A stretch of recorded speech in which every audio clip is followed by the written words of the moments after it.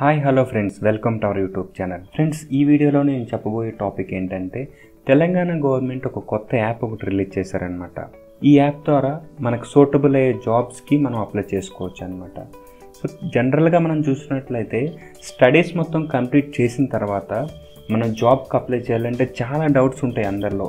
ఎలాంటి కంపెనీస్కి మనం అప్లై చేసుకోవచ్చు? ఎలాంటి కంపెనీస్లో జాబ్స్ ఉంటాయి? అసలు ఎలాంటి పొజిషన్స్కి మనం అప్లై చేసుకోవాలి?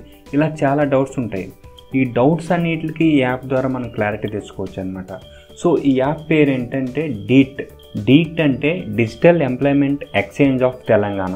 ఈ యాప్ ద్వారా మనకి ఏదైతే క్వాలిఫికేషన్స్ ఉంటాయో ఆ క్వాలిఫికేషన్స్ తగ్గ జాబ్కి అప్లై చేసుకోవచ్చు అనమాట యాప్లో వన్స్ అప్లై చేసిన తర్వాత ఎవరైతే ఆ కంపెనీ హెచ్ఆర్స్ ఉంటారో వాళ్ళు మన రిజ్యూమ్స్ వెరిఫై చేసిన తర్వాత టెలిఫోన్కి ఇంటర్వ్యూ చేయడం.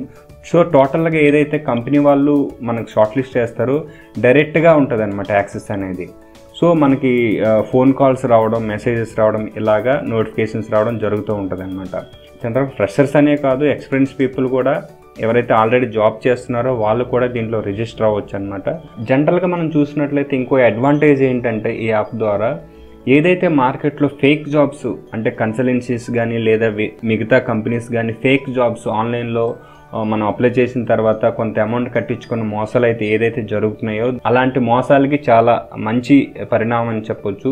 ఎందుకంటే ఇన్ కేస్ ఈ యాప్లో ఎవరైతే ప్రైవేట్ కంపెనీస్ వాళ్ళు నోటిఫికేషన్ ఏదైతే రిలీజ్ చేస్తారో అది మనకి డైరెక్ట్గా కనిపించదు అనమాట ఏదైతే యాప్ డెవలపర్స్ ఉంటారో వాళ్ళు ఆ కంపెనీలో నిజంగా ఆ కంపెనీ ఉందా లేదా జెన్యునా కాదా అని టోటల్గా వెరిఫై చేసిన తర్వాత మనకి అది పోస్ట్ అనేది కనిపించడం జరుగుతుంది అనమాట ఇన్ని అడ్వాంటేజెస్ ఉన్నాయి ఈ యాప్లో సో ఫ్రెండ్స్ ఎవరైనా సరే ఈ యాప్ గురించి ఆల్రెడీ డౌన్లోడ్ చేసుకుని ఉంటే ఓకే డిఈటి డిట్ ఆల్రెడీ uh, నేను డిస్క్రిప్షన్లో కూడా మెన్షన్ చేస్తాను.